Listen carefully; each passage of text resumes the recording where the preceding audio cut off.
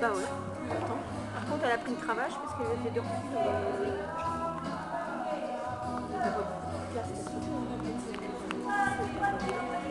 Tu la prends quand même quand Il y a Cathy.